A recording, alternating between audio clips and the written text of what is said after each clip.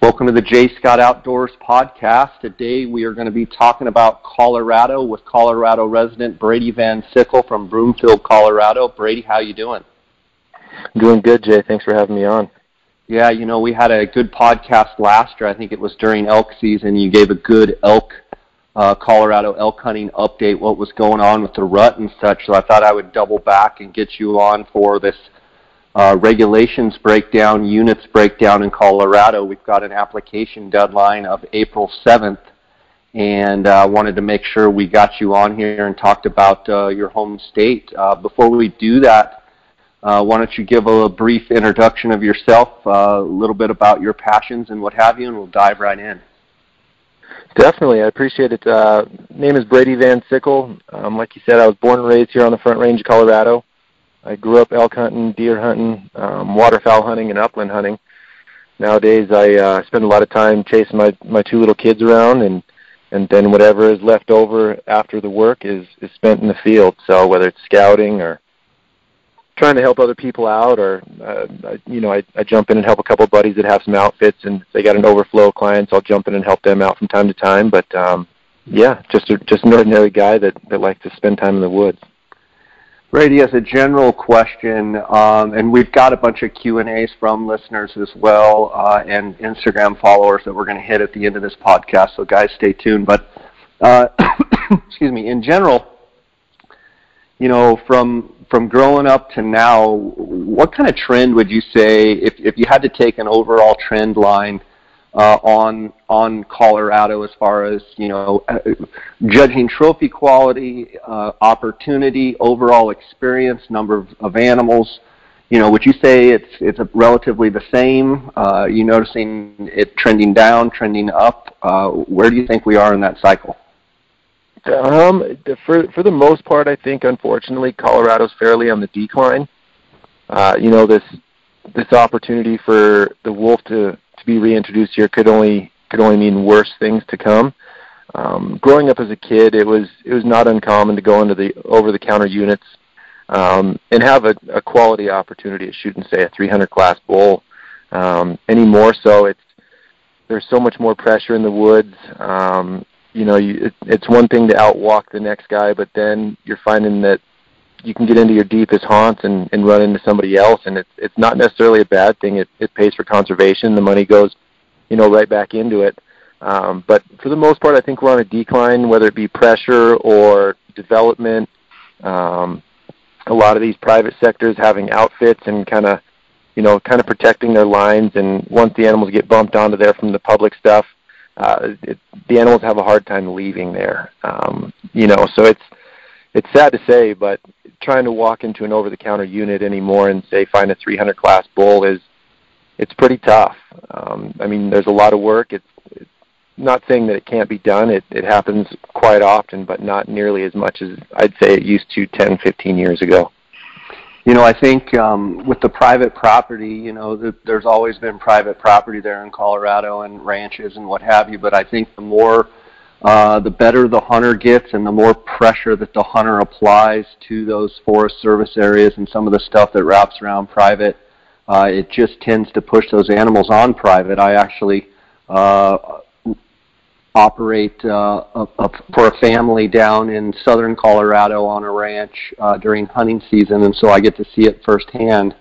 Um, but it, it, it's one of those things that you know those those animals, those public animals um, get quite a bit of pressure, and a lot of times on those private properties, they they just seek shelter and and seek as much solitude as they can, and a lot of times they can find that on those uh, private chunks. I think one of the things about Colorado that makes it so special is there are some private chunks that also allow some animals to get big, and you know the public does end up getting some opportunities, whether it be migration or you know just for whatever reason those animals moving around and I, I think for the last you know 10, 15 years, guys have really honed in on trying to figure out where the different animal, you know, more mature animals are and where they might find some of those honey holes. And I know you, as a resident, uh, probably spend a lot of your time trying to figure these units and figure where you're going to go. Or maybe you can get into a little pocket that's you know maybe sandwiched between a couple pieces of private, and you know you've got good animal movement back and forth.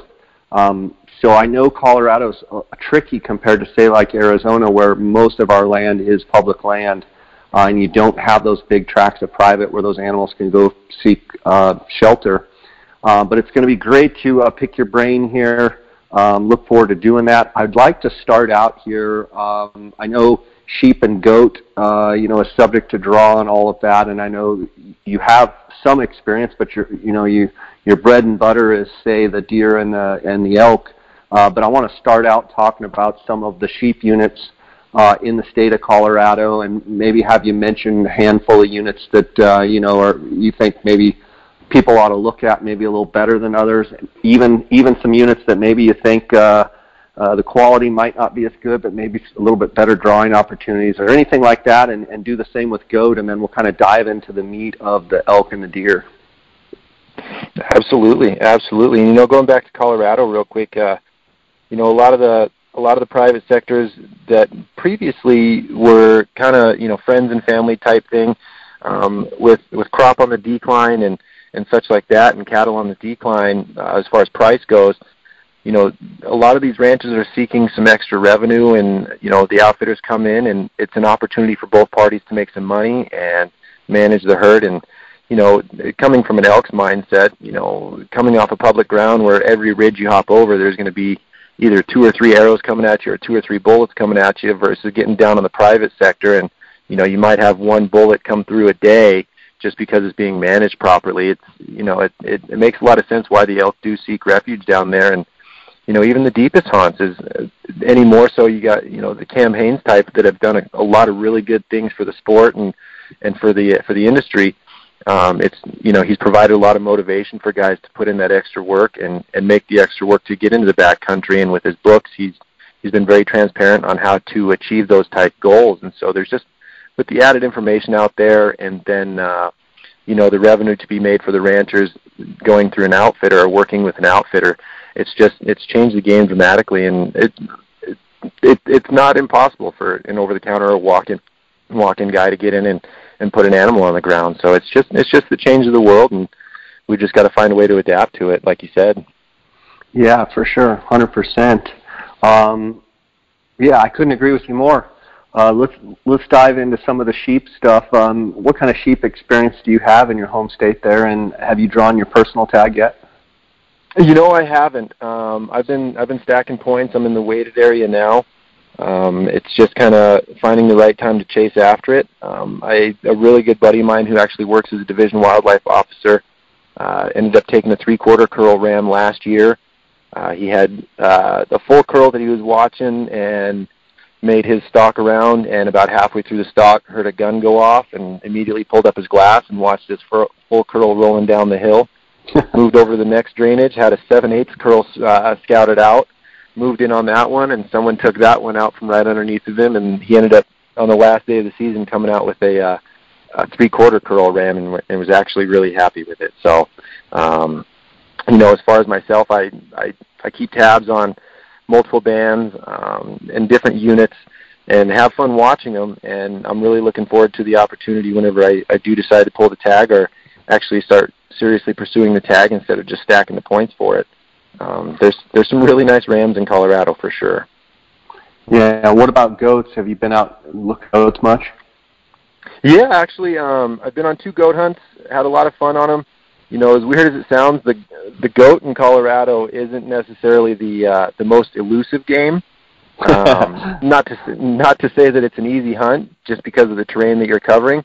But once you actually get a, a, a goat picked out, depending on the unit you're in, there's a good opportunity you're going to be able to walk almost essentially a straight line to them and and get the job done. They're not uh you know some of the some of the units in the southern half of the state you get some skittish some skittish goats, but for the most part they um they're not really elusive and they're not really shy about taking off at first sight. So they uh it's an interesting I, tag to, to pull. You know, you wait once in a lifetime and, and then you get it and I've had multiple buddies go and was actually on one goat hunt and we got up there and my my buddy ended up walking up to about eight yards and taking the goat. And so uh, it, it's interesting, you know. Kind of looked at him and he's like, as excited as he was to have his goat on the ground, it was kind of like, well, like that was it. Anticlimactic. I, I kind of, yeah. Yeah, I kind of expected more out of that one.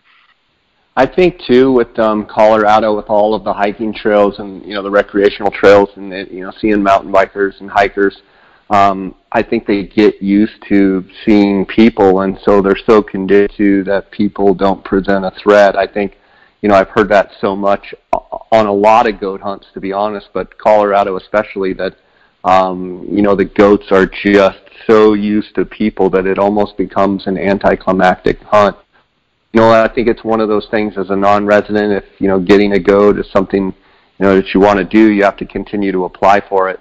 Um, but it's never been something that I've really focused a lot of time on. I know that, you know, I did go to Alaska and went on a goat hunt with my hunting partner, um, and he was able to get a goat. I did not.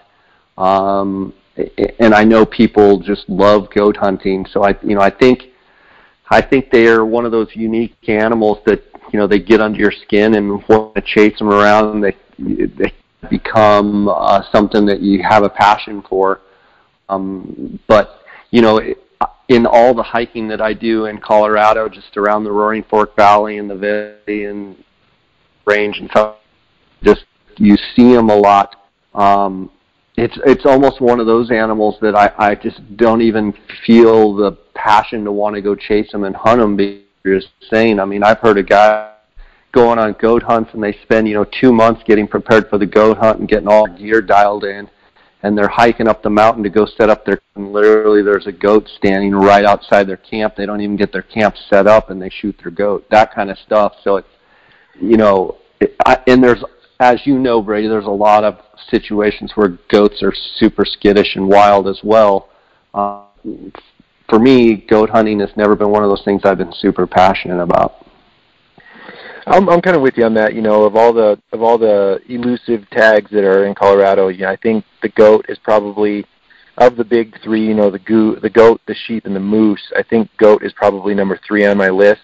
It's definitely something I want to attack, just being in my home state and having the opportunity. But with some of the rams that we have here in the in the sheep species, um, you know, the desert bighorn making a comeback on the western slope, um, and and then all over the you know the central or the continental divide, some of the some of the sheep that are up there, and some of the moose that I've encountered. I think I think like kind of like you, the goat will probably be on the tail end of that list. Um, it's something I'm going to have to take take seriously before too long. You know, before you get to that age where you don't want to be walking that type of terrain. But of the big three, I think that's sitting at around number three for me. Yeah. Um, speaking of moose, do you have much moose experience? You know, I've done a lot of scouting for guys with moose. Um, there was a local guy here that uh, through a friend of a friend, he ended up acquiring the the governor's tag, and I believe it was 2012. And I had scouted out a, a couple really really good moose for him, sent him some information on it, and uh, right before he was to go in for the governor's tag, he ended up locating a different moose up over there near Guanella, and uh, and ended up going up there and just off first pictures, I'll, I'll have to send you pictures, but just looking at him from pictures, you would have you would bet your house that he didn't shoot it in Colorado. So there's some really really nice moose. I have a lot of fun with them in the summertime because where um where I where I spend most of my time chasing elk out and, and scouting for elk and alpine mule deer in the summer, there's always a lot of a lot of moose in that that higher country and so getting the chance to look over a lot of moose, um, kind of judge class and, and character to them uh, you know, there's there's some quality moose here in Colorado. As far as being behind the gun or being behind the bow, chasing them myself, I don't have a lot of experience, but I I, I do have quite an extensive time watching them and looking them over and gauging habits and stuff like that. Fun stuff. Um, all right, let's dive into. Let's start with mule deer um, and talk about um, specifically. You know, Colorado a lot of people ask if there's over-the-counter deer tags in Colorado. I get that question a lot. Um, can you explain a little bit how the deer works in Colorado, uh, the mule deer hunting with the draw, and, and answer the OTC question? You know, the OTC thing for the for a long time, you could get deer tags fairly easily, but within the last five years, uh, they've made it to where deer has kind of been a priority, and everything's on a draw basis. You know, there are options out there for the season's choice tags where you have let's say from October 1st till January 31st to get it done and those are a C list tag so even if you draw a buck tag or even if you're putting in for points those season choice tags are a really good option for you to get your hands on Um, it gives you the opportunity to pursue them. You may not be chasing a, a you know a, a tremendous buck, but it gives you an opportunity to get out there without burning points, and it's the closest thing you're going to find to an over-the-counter. Um, there's there's a lot of quality areas where you can do so, whether it be in the mountains or on the plains. Um, there's a, there's a ton of opportunity to still get in the deer game without spending all your points and without without burning your points just for an average tag. But Colorado seems to be pretty focused on keeping those mule deer under wraps um, and managed a little bit better than they had. Unfortunately, th- throughout the state and a lot of the areas that I, I like to chase the mule deer during the later seasons during the rut, um, you're starting to see a decline. You know, where units where you'd see more in numbers or quality, or uh, both actually. Um, okay. You know, within the last ten years, ten years ago, you could go into a Sage Valley in you know Grand Valley or the Summit Valley, and you know when the deer herds were there, you'd see groups of does, 20, 30, 40 at a time, a couple bucks mixed in. And the last couple of years, I'd say over the last five years, you're only seeing you know four groups of four or five does, maybe one quality buck. Um, some of the units that were really relatively unknown, or I don't want to say unknown, but underrated it's becoming even hard to find a 180 class deer in some of those units anymore. Whereas you could go out during fourth season elk tag, and while you're waiting for the elk, you could glass up multiple deer over the you know the 170 class in the same valley, and it's just it's just not so much like that anymore. And you know I know lions the lions are making a big a big push in Colorado. The bears there's you know they implemented that change where a lot of the units now you can get an over the counter bear tag with your elk tag or your deer tag um, and I don't know if it's predation or what, or I, I don't want to say it's overhunting because everything's on a draw basis, but it's what about the numbers are kind of factored in there. You know, honestly, we haven't had extreme extreme winners for a few years now, so I'm sure there's there's still quite a few that that don't make it. But uh, you know, a lot of these deer cover 40, 50, 60 miles sometimes just going from their summer range to their winter range and there's a lot of these lower valleys and a lot of these ranches are throwing feed out and, and supplying feed and everything and protection uh, for these deer, but you're just not seeing the numbers anymore, and it's it's not necessarily from overhunting because, like I said, everything's on a draw basis. But it's deer's getting the deer is going in the opposite direction of where you'd imagine it to after putting everything into the draw cycle. Now, Colorado offers um, archery opportunities, muzzleloader, and then you've got your rifle seasons. You basically have your second season, your third season, and your fourth season. Um, one of the things that a lot of people are kind of up in arms, if you will, there's there, it's, there's two different camps. There's the guys that are kind of up in arms that the season date this year and especially next year are so late, um, pushing these third and fourth seasons way, way late into November, which is going to make incredible hunting for the people that draw those tags, but their argument is the fact that those bucks uh, are going to be in essence sitting ducks out there in the in the open in the in the on the winter range and potentially it's going to be a bloodbath for big mature bucks. And then you've got another group that you know they've been sitting on a bunch of points and all they want to do is just shoot a big buck and and so you've kind of got two differing opinions colliding but the reality is we are faced with you know this year and next year next year for sure being dates super late like thanksgiving type dates um, for those four season. I, i'm just wondering as a colorado resident your thoughts on the, the season structure and it will create a phenomenal deer hunt this year and next, um, the impact that that might have on some of you, your, you know, Colorado's big deer. You know, it's it like you said. There's two sides to the fence. Personally, I'm I'm still I I'm still stacking a handful of points. Uh, you know, I'm in that seven seven points class, and it's I don't want to say it's necessarily a bloodbath, but I I think you know for the guys that do draw that tag, they've got a real they've got a real opportunity um, at a trophy class mule deer.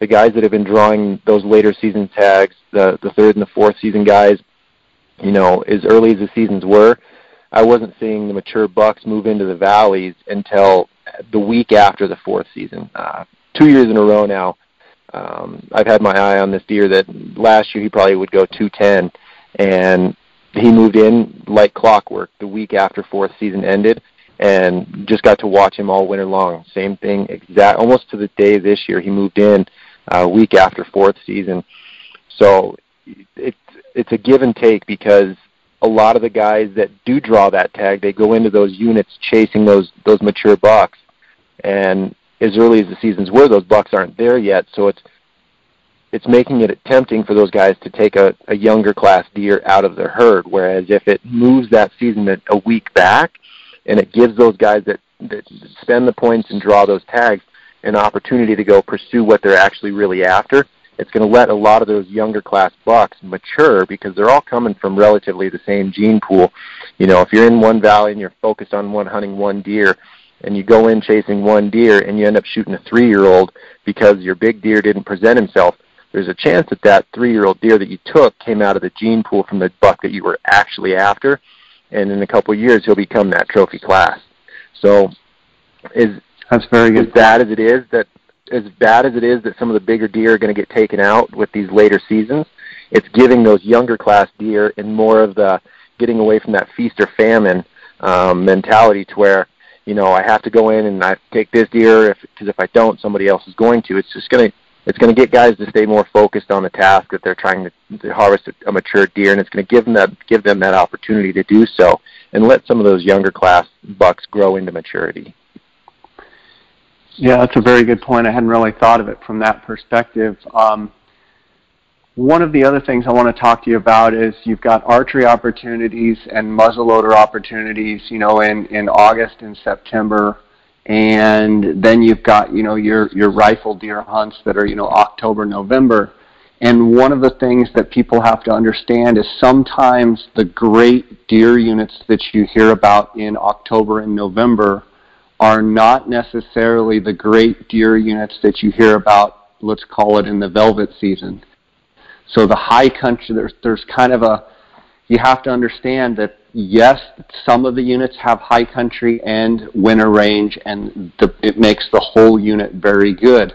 But there are some other units where it might not, it may be great high country hunting, uh, velvet type hunting, you know, time frame, but then all of a sudden those deer start to migrate and there's not very much public land and they end up those same big giant deer end up on private land and you can't get a shot at them whereas then there's places and units that are not great high country you know not not the just top of the line high country hunts but then have a little bit more country winter range type country or transitional country where once those later seasons start those deer start showing up talk about that a little bit, and if there's any units specifically that kind of jump out in your mind that you know people historically say, "Oh, that's a great deer unit," and you say, "Yeah, it's great in the high country, but it's not a great late season, or vice versa."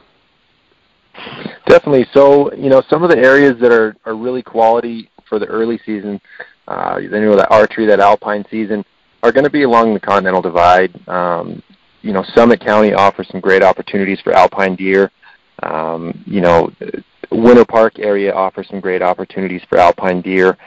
Um, you know, the Rabbit Ears Range offers some some quality opportunity for high for you know high alpine deer.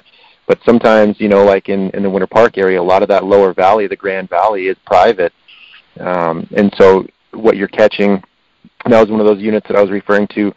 You know, you could catch those bucks in velvet up on the alpine on the divide and then come fourth season they're 55 miles away on the other side of the county down in the low grounds you know living in the river bottoms and and feeding on the on the, on the hay fields that are down there on the river for sanctuary um, so sometimes you know those it, it, all kind of comes down to where you prefer to shoot your animal in my opinion if you if you want the opportunity to chase one of those deer um, in the alpine, then you need to focus on on the continental divide, somewhere that's going to have higher areas.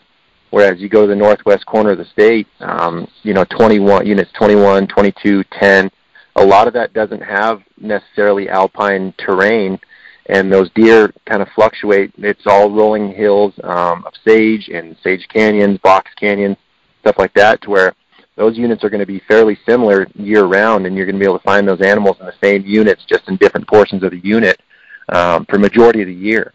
You know, Unit 10's a, a really unique unit, just you know, kind of like the elk. Um, if you've got the points to to throw at it for deer, you know the numbers the numbers that you're going to see aren't necessarily there, but the animals that you see are all going to be pretty quality. They're all going to be I don't want to say all, but majority of the deer that you're after are going to be in that upper 180 and you know mid 180s and up class. There's some really quality deer there, and they they don't really have to go anywhere because there's not alpine terrain where snow's pushing them out. Whereas, you know, over in the Grand Valley, you can catch them up during last weeks of August and first couple weeks of September up in the alpine, and then you're there's so much timber between there and their wintering grounds that you're essentially looking for a needle in the haystack. Um, so anybody that's really wanting to focus on mule deer, it, I I take, tell you to take a good look at yourself and evaluate in your head that perfect scenario of where you imagine yourself shooting one and where your heart chases you or takes you to, and then start pursuing your tags from there.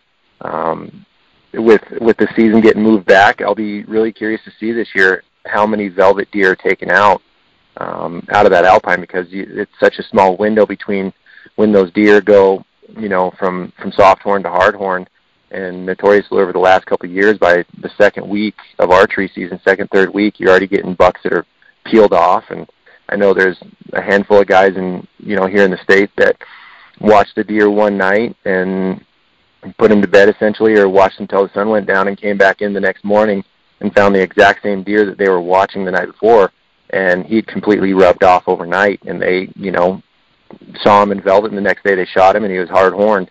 Um, so it's you know you you do have a lot of different units where they do have that transition, but it's it's really tough alpine to the wintering grounds because there's so much timber in between that you can lose them in, lose track of them, and and you know deer are so nomadic they cover so much country.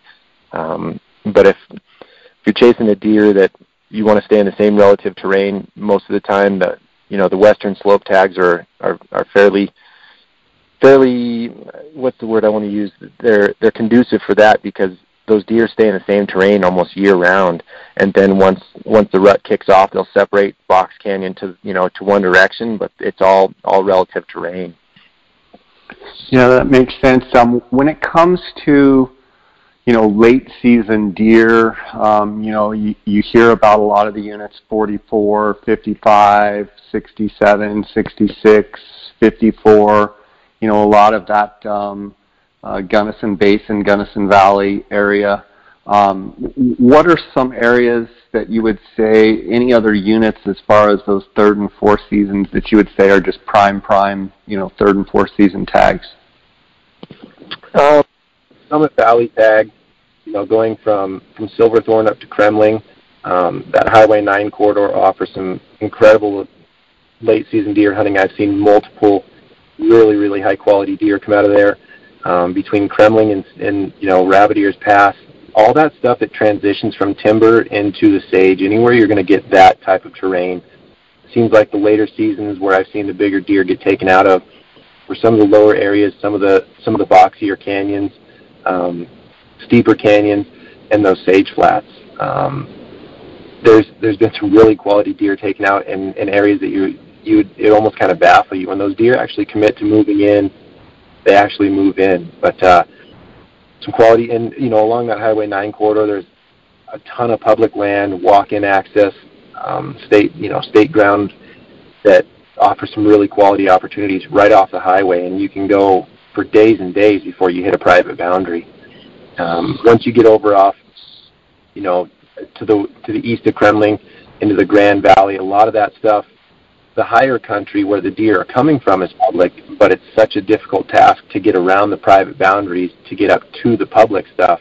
By the time you get there, there's a good chance that the deer are going to be down on the private sectors, and all you're left to do is sit and kind of watch and observe. Um, but it's in my recommendation, anywhere that that timber rolls into the sage and there's some you know scattered cover from here to there, uh, it, that's that's where I've seen majority of the big deer over the last couple of years get, get pulled out of, or I've seen quite quite a few get pulled out of. I don't want to say that's where they all are, but if I if I was a betting man and I was stacking points trying to get into something that was a realistic hunt, those are some of the areas that I'd be focused on. I know, you know, a really good buddy of mine uh, pulled a, a pretty good deer out of out of 44 a couple of years ago, um, 54 up there in the Gunnison Valley. Uh, I know they had a decent winter kill a few years ago, um, like in the 2009 2010 range Um, but everything that I've heard is a lot of those deer are making a comeback right now. Right on. Let's jump over and talk about elk, which is something we're passionate about. Um, and talk about first and foremost, let's talk about some of these OTC units uh, because I think everybody out there, you know, wants to experience Colorado elk hunting. It's legendary elk hunting, and I try and tell people sometimes, you know, yes, there can be some great hunting if if you kind of know what you're doing and where you're going, but know that it, you know, it can be hit or miss. Um, but you know, I mean, do you it's the good old days right now, or do you think the good old days have passed by a little bit for o- OTC um, archery elk hunting? OTC archery, I think it, it, I think the good old days are behind us. Um, you know, it seems like the the division they they do their best, but a lot of times they're by allowing the over-the-counter units and majority of the, the units in Colorado being over-the-counter, it adds a lot of pressure, and it's not necessarily a good thing, but it's not a bad thing. You know, the pressure keeps the elk moving, but if there's too much pressure, it you know, like in, in last year's scenario, majority of the elk on on the one front that I hunt, uh, or the one front that I spent a lot of time on last year. By the second week, between the pressure and a fire, I mean, almost every elk that was in the valley was already down on private sectors, and it was, you know, the the private public boundary, you had guys lined up every 50, 100 yards across there, and every one of them blowing on a call trying to entice a bull to come off the private. And it just it, it created an awkward scenario. And you know, in that scenario, you're towing lines where, depending if you know the ranch where you're sitting on the fence line or or the property line up, it's one thing to get a bull to come up to you and commit to you, but after you make the shot, chances are, especially with you know archery over the counter, he's going to turn around and seek refuge back down to where he just came from, and you have the opportunity to lose him on the run uh, if he gets across that property line, and then you've got to go through the hassle of, you know, knocking on the door and and explaining the scenario. Um, but there's still, a, you know, from what I can tell, is a lot of the a lot of the pressure that comes is along the Continental Divide. You know, everybody wants really quality hunting, but they don't want necessarily want to have to drive five, six hours just to get to it. So you see a lot of the pressure start. The farther west you go, the more the pressure is going to die off.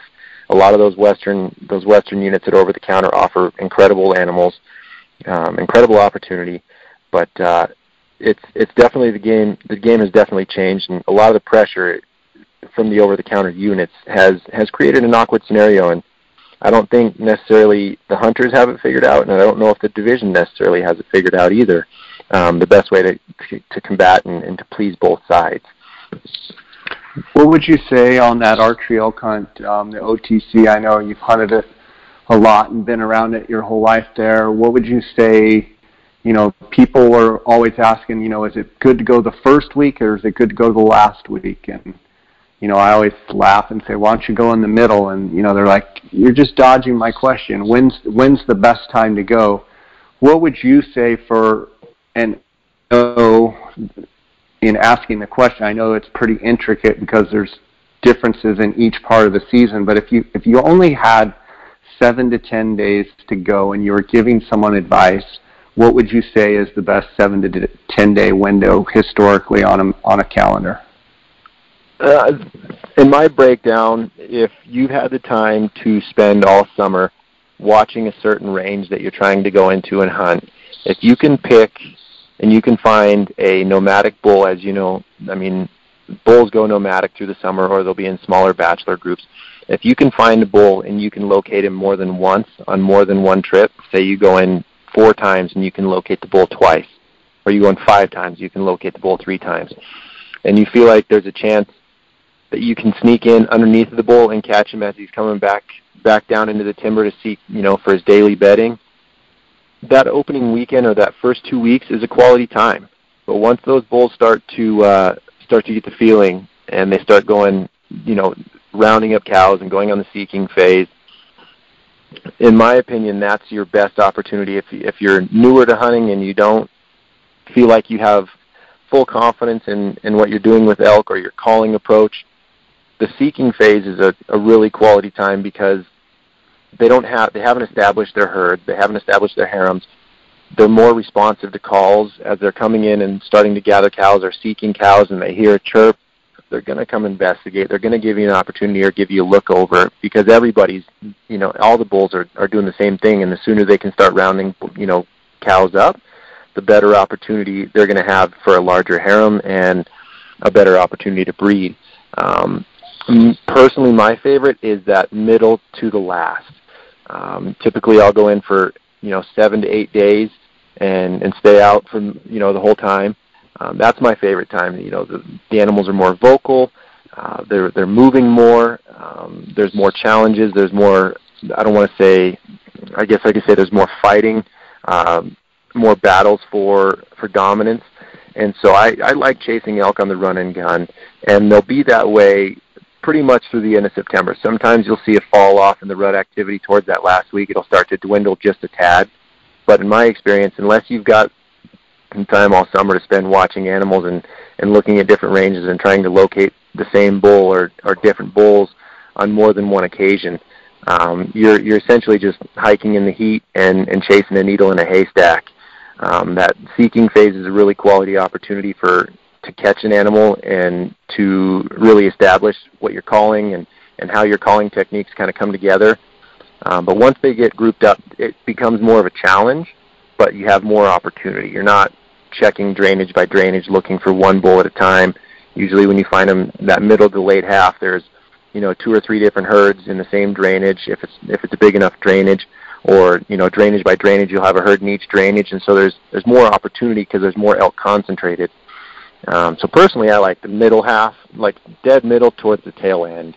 Uh, would be if if you've been at it for a while and you know exactly, you know, you're confident in your calling and you're confident in your approach, playing the wind right. I, I think you have a really good opportunity later, um, just because the elk are more concentrated down in the breeding grounds and the rut grounds. Um, so I, yeah, I, I, I personally like the middle to late half. Okay. Uh, as far as limited, um, you know, the the draw units. You know, you hear about 76, you know, down south of Lake City. You hear about uh, 61 up on the Uncompahgre Plateau. Uh, you know, I, I hear stuff about those two units. What are some other units that you would say? I mean, I hear stuff about Unit 40. Um, what would you say are quality archery elk um, units you know, what would you say your top five units would be in the state of Colorado for quality, total quality hunt and quality bulls? Definitely, and you've got um, your twos and your tens and your. Definitely, uh, you know, 76 is a really good unit. 61 uh, over the last couple of years, or I'd say over the last 10 years, has made an extremely strong, you know, movement towards the quality class of bulls. Um, if I had to take my pick right now, I I would probably chase 61 above all else. Two, even over the two and the tens up in the northwest corner. You, you know, two and ten, it's a phenomenal area to hunt, but the numbers, you know, sometimes there's guys that go into you know 210 or 201 and spend an entire week, and they might see five elk. Um, a lot of that ground is private up there, and it's not to say that you can't do it. A guy, a, a guy that I've worked with for a long time, a, a dear friend of mine, got the phone call a couple of years ago that somebody had turned in a, a Unit 10 tag, and he was the first one on the on the board. And he he chose to go in there by himself with his mules, and looked over animals. You know, didn't see a ton. Looked over quality animals, and ended up coming home with like a 354 Whereas, you know, 15 years ago, if the saying was, if you came home with less than a 360 out of the, one of those three units, that you settled. Um, right. You know, it's it's it, it's a different approach now. Two is a lot of public ground. Ten is a lot of public ground, and and 201 has a lot of public ground. But getting the access to the public stuff can be tricky from time to time. Um, gotcha. 61, there's just so much ground in 61, and it seems like more and more every year there's there's really quality bulls coming out of there. Um, even on the 62 side, um, you know, it's, they get moved over into 62, but 61 has, in my opinion, has established itself every bit as good as the 210 and 201s. Um, just off of quality animals that have came out. A really good buddy of mine hunted it a couple years ago, black powder, and was walking by six points to go pursue bigger six points. Um, saw a, a seven by that was an absolute stinger of a bull and had the smallest group in the entire in the entire valley. He had two cows with him, two three cows with him, whereas other you know you'd see other other six by sixes with 30, 40 cows at a time. Um, so just just seeing numbers of game, accessible territory, um, accessible ground, quality of animals. I, I think 61 is is kind of established itself. You know, it doesn't come without a cost because it does take quite a few points. I believe um, Brian, my buddy, either spent 15 or 16 points to get that black powder tag. Um, so it, it's kind of the point creep's kind of getting up there to where it, it it's going to be a lot like a 210 and a 201 uh, in in a matter of time.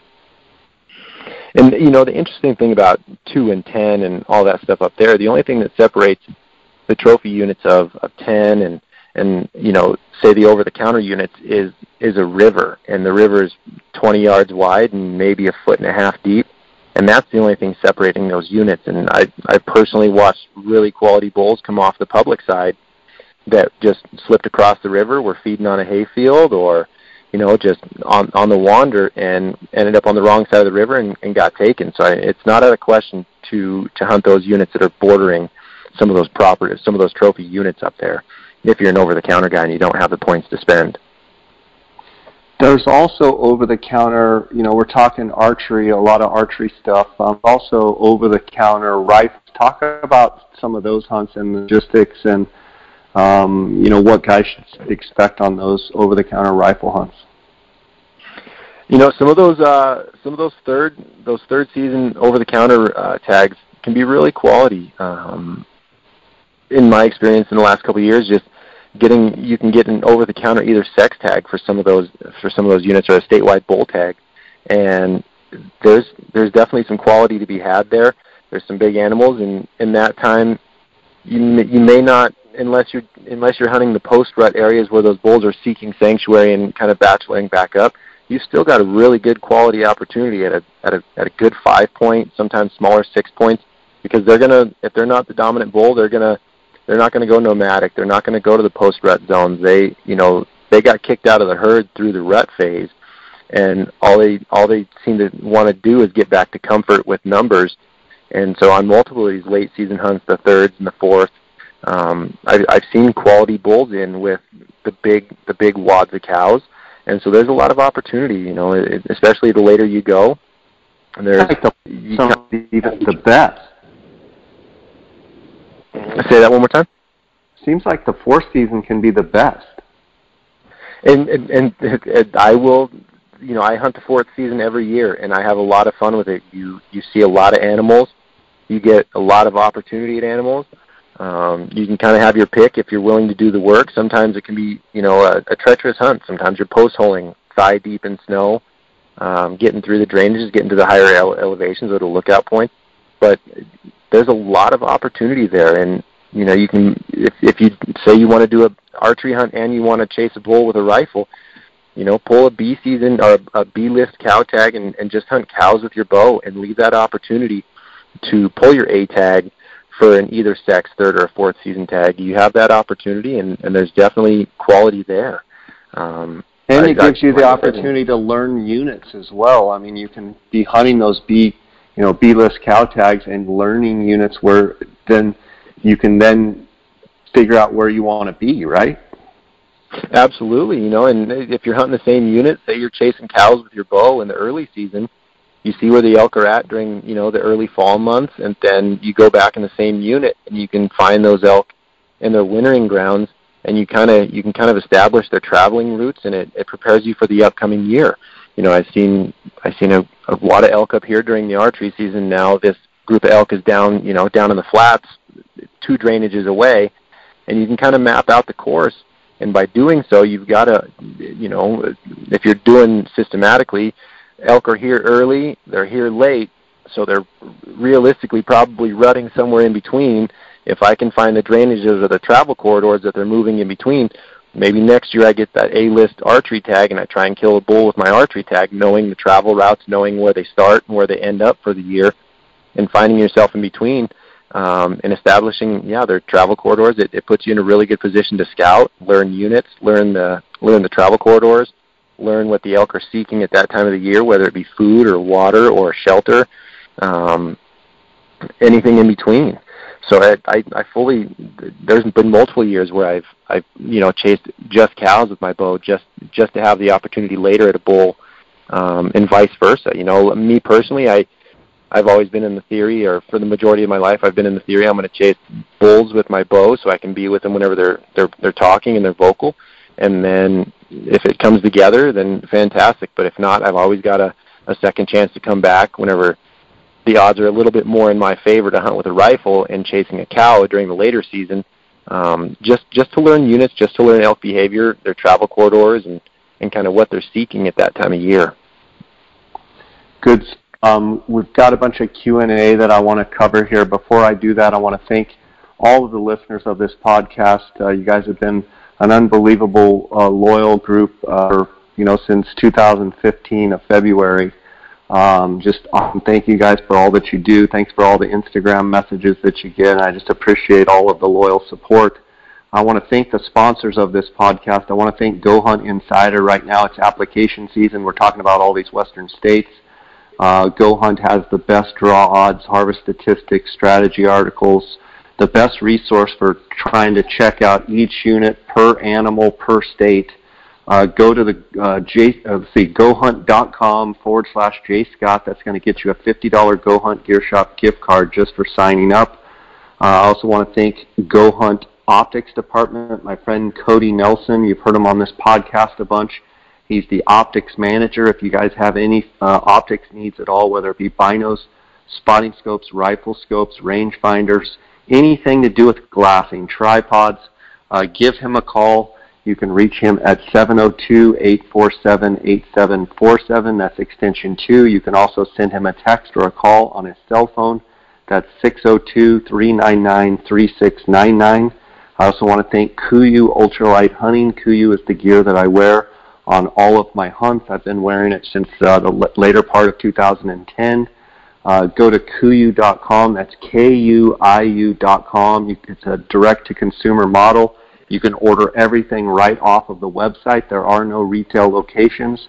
Uh, you often, if you listen to this podcast, you hear me talk with uh, the Kuiu guys. I do a Q&A with Brendan Burns.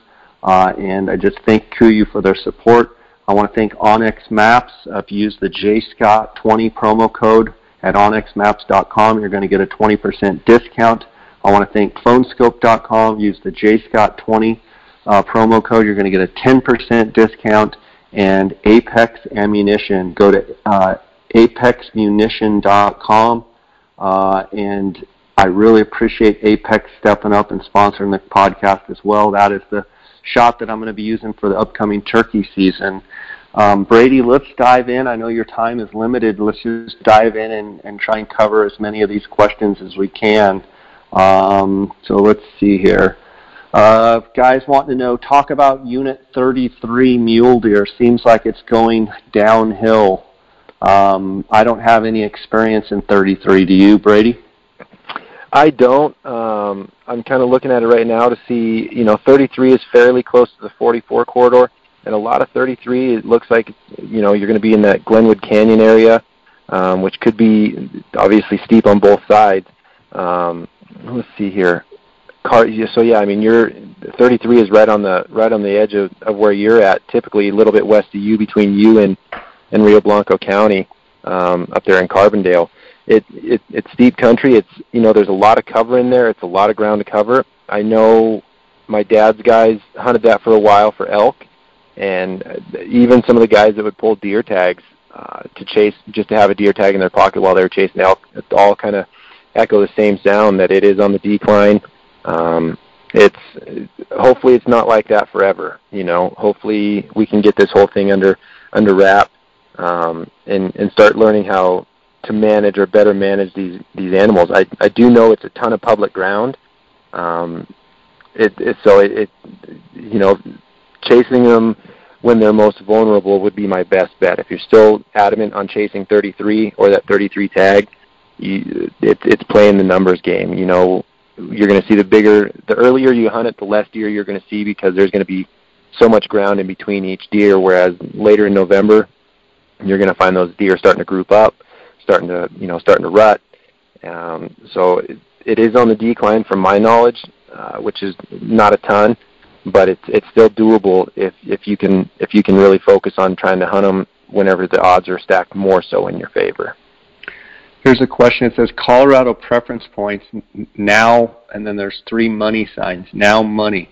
I have three points. Is it is it worth it to continue building? I mean, the answer to that from, and I'll let you answer too, Brady. But if this is something that's a priority to you and it's important to you, then absolutely you, you've got to keep applying. If, if you quit, then you're basically out of Colorado, or you have to you know be subject to um, the over-the-counter elk uh, hunt. But yeah, I mean, there's still some tags I would continue to apply if he's got three points. What do you think? No, I, I think stacking points is always it, it's always a good thing. I, there's not a year that would go by whether I had a broken leg or you know whatever the case may be. I, I'm always going to stack points. It it does cost money now, but if you remember previously before the implement or before the changes two years ago, just to apply for sheep, goat, and moose, you were spending, you know, what, two hundred dollars for an application, and you were out that money for for the thirty days until you got your refund. Um, and now I think, if I'm not mistaken, I think it's only fifteen dollars. Um, so I, you know, I would absolutely recommend always stacking points. You never know when you're going to want to come back. If you've got little ones that are up and coming and who's to say that you can't you can't gauge right now if in 15 20 years they're going to really want to come out and have the opportunity to chase a quality bull or a quality deer. Um you know it it gives it so much opportunity and you wouldn't want to be starting over say you know you have a little boy that turns 17 or 18 and all he wants to do is go on a, a really quality elk hunt with his dad or his mom and you you go to apply and you're you know you're starting over from scratch Whereas if you're stacking those points and the opportunity comes around, you you have the opportunity to jump on it. Whereas starting the starting the count over when your when your kids are old enough, or say you you know you your hunting partner's kind of fallen off and you don't really have anybody to hunt with. You know, say you 10, 15 years down the road, you meet a hunting partner that you all you want to do is hunt with and just have a, enjoy your time. You don't want to be starting over at that point again there either. I I highly recommend it. And even while you're stacking points, Colorado's a you know, it's one of those states. It's an opportunity state. Whereas even if you are stacking point now, you can still you can still pull a tag. You know, there, there's the opportunity on the application where you put the point the point preference first, and then and then chase the tag left over from there. Um, so you can still stack points while you're hunting, and even if you're not hunting and you're taking some time off, you know you can draw some of those second season tags. Years. Yeah, exactly, um, and you know you're not going to want to start over in 15 years another question here. What kind of country are most likely to find bears in high or low elevation? You know, my experience with bears in Colorado is they're just exponentially multiplying. It seems like bears are thick. Everywhere I go, there's bears. Um, but, you know, I find anywhere you find a lot of good oak brush, you find a lot of bears. Um, Brady, do you have some experience with, with bears and, and answering this question? Definitely, definitely. You know, I've very rarely have I seen bears in in the higher the higher elevation. Um, typically, the bears that I I come across are are below ten thousand feet. Yeah. Um, yeah, the ten thousand, and a lot of the, you know, like you said, the bears are multiplying like crazy. Uh, they Colorado Division Wildlife or Parks and Wildlife wouldn't be offering an over-the-counter tag to pair up with your elk or your deer tag if we weren't extremely high in numbers. Notoriously, the last couple of years when the when the bear tags come out in a lot of the units that I hunt, even you know whenever you, if you're the first one in line, by the time they punch in your numbers, the the bear tags are already sold out. Um, you know, so with putting them back into the over-the-counter type scenario, it, it it's kind of explaining that we do have bears multiplying anywhere. You know, that south half of the state, Walsenburg, Pueblo. Um, stuff down there where you're getting, you know, La Veta area where you're getting those transitions in heavy oak brush areas, or you know, Steamboat, um, down to the southwest between Steamboat and, and uh, McCoy, some of that country, you're going to find a lot of bears in in the thick brush and the in the drainages. Um, you know, and even more so down in town. A lot of the a lot of the Grand Valley now, a lot of the bears are being taken you know, coming back up into the hills after they're rummaging through the neighborhoods or going through the restaurant dumpsters, and then they're just jumping off the road and, and climbing the hill. And a lot of those bears are getting taken off of lower elevations. So for chasing bears, I'd say mid-level, you know, 10,000 feet at the high end, all the way down to the valley floor. Um, if you've got you know good raspberry patches, if you find a big a big meadow of, of raspberry bushes, there's a chance you could put a camera on that on that meadow and and watch multiple bears come in there and feed in the mornings and in the afternoons. Um, if you've got a water hole, I've got a couple of buddies that, that hang tree stands over water holes, and after they chase elk and deer in the morning, they'll go sit on the water hole midday uh, and hoping for a bear to come through. Um, the Western Slope's got a ton of bears. That Unit 61 that we discussed about trophy elk, there is a ton of bears in that. Um, my buddy who shot that that bull over there in 2014, I think on the first on the first leg of carrying quarters back out, uh, he came back and there was six or seven bears within 100 yards of the carcass trying to get to his bull. So I mean, there is there is a ton of bears, but you don't and you don't necessarily have to stay high to hunt them. You know, mid range and down is would be my highest recommendation, or or thick thick country like oak brush. Got a question here. Is it possible to hold a deer and elk tag for the same dates in the unit? The answer is yes. I know there are units where you can have both, but Brady, I'll let you give specifics if you know of it. Yeah, um, it, it's definitely possible. On multiple occasions, I've had an elk tag and a deer tag. The hardest part for me is, I, I I try to stick to or stay disciplined enough to pursue quality or trophy. And I don't want to say trophy, but mature game. Um, kind of going back to earlier, letting things grow to maturity.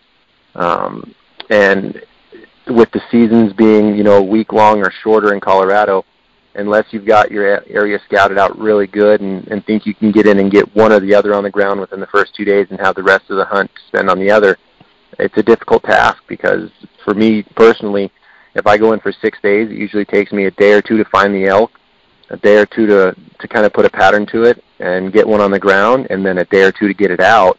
Um, and that that kind of encompasses your whole season. So it's it's possible, but in my recommendation, I'd, I'd separate the two so you have more quality time to pursue one than the other, rather than just throwing it in together. A lot of times you won't find those animals in the same areas or the same sanctuaries. And there's times you'll find them feeding in the same areas, but um, you're not, you know, not necessarily going to find a, a 180 class deer and a 300 class bull feeding in the same valley. It, I'm sure it happens regularly, but um, on most over-the-counter or public units, um, it, it can be a trick to find a quality of each animal or a quality of each species to, to take out and have the time to hunt both at one time. Good stuff. Uh, let's see. Uh, tips for early season mule deer. That's kind of right up your alley. The higher, the better. Um, you know those those big those big upper upper basin parks or the alpine parks.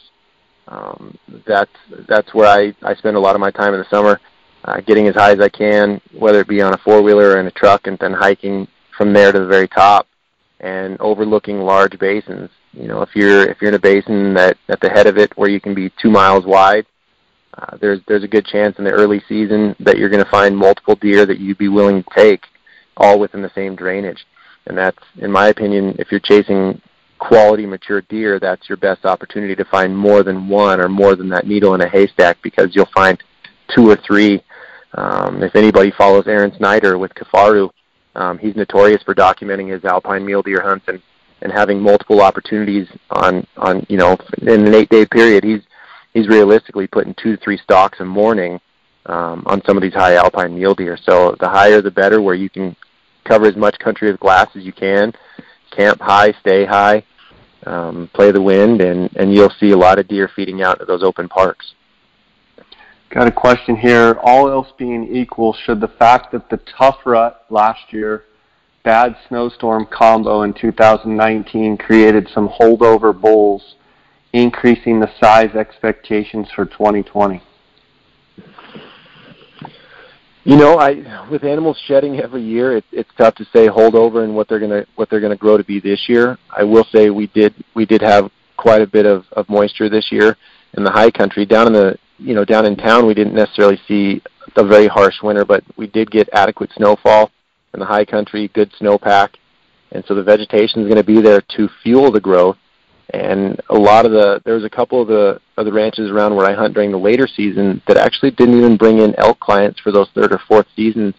Um, everybody was kind of geared for the late season mule deer hunt last year, and so a lot of those bigger bulls that made it down into the sanctuaries of the private ground, um, whether they were hunted or not, there's a good chance that there's going to be a lot of mature bulls that survive the winter, and that that will be back to grow this year, whether they have surpassed their their peak and they're going to be on the decline this year and down a few inches, or whether they're going to be up a few inches. I mean, we've got all the all the makings between the moisture and and the lack of pressure or the lack of harvest of quality bulls late late last year. That there's going to be some there's going to be some good opportunities this year for sure. Yeah, and I know. I mean, even last year over at the ranch, where we were, you know, we were expecting, we had such high expectations for antler growth because we had such a rough drought year in 2018. Although we had pretty darn good antler growth, uh, being an Arizona guy, knowing how much drought affects antler growth, I thought last year with being as wet as it was, as much snow as it was, I, I was taught a little bit of a lesson in that. Um, it, we had so much snow last year down at the ranch. Um, and and so much so much snow pack uh, that those elk did not get really. It stayed so cold so late. They really didn't get on green feed. This is my speculation that you know they really didn't start out you know just gangbusters on green feed because they were ha- still having to paw through snow to get the feed. Um, and we actually saw antler growth last year where in our area was actually down. You know, our top four or five bulls all except for one, I would say, had declined and, and were smaller. Um, and the only thing that I can go back to and point out is the fact that they're one year older. Same bulls, you know, we have trail cameras, three years in a row of them. Um, you, we know it's the same bull, but I think they started out uh, on, you know, pretty tough times and not on green feed right away. Whereas I think on more of an average year, where that snow, you know, starts receding and melting, and you know, it, we get a spring green up.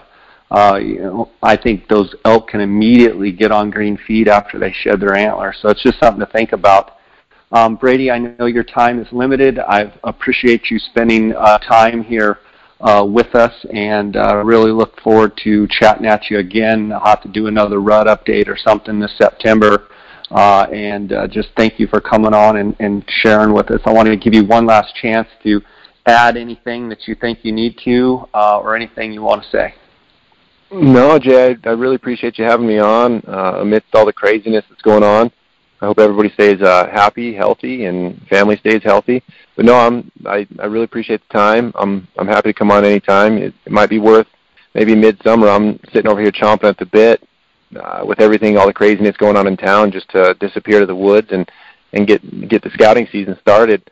Um, so as soon as the snow falls, or as soon as the snow melts, um, that that's going to be my sanctuary to getting away from all the people and all the craziness, and just kind of try and find some solitude. And if you want, we can catch up maybe midsummer. I'll tell you what I'm seeing for antler growth, and and kind of go from there. And then we can do another rut update for sure.